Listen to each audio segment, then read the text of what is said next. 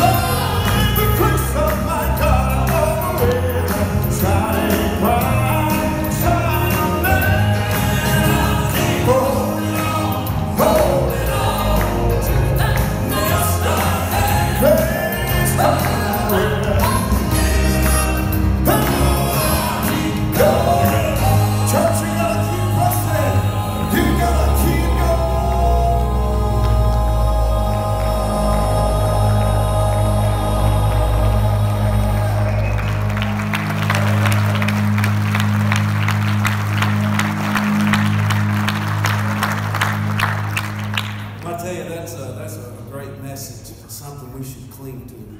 But I have to admit, there have been times in my life when I felt like giving up.